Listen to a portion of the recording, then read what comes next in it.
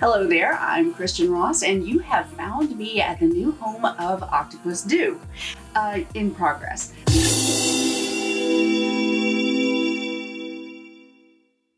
So this is my jewelry making studio and that's what I do here and I'm going to share a lot of things that I've learned over the years with you. All you have to do is just click below to subscribe. Now, just a little bit about my studio in progress. It's kind of a mess right now, but I'll give you a little idea of what's going to go on here.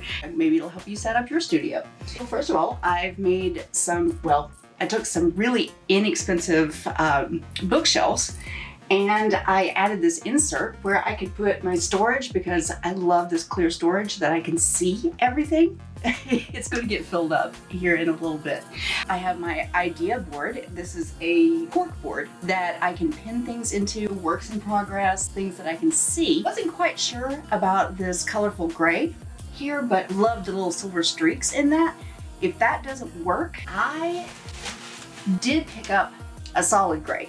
So that may change out. I have a pegboard here that I'm going to put all of my tools. Of course, had to set up the jewel tool. One of the first tools that I had to get ready to go because I use that all the time. Stay tuned. I'm going to have lots of projects. If you have any questions, please feel free to leave them in the comments below. Let's see where this goes.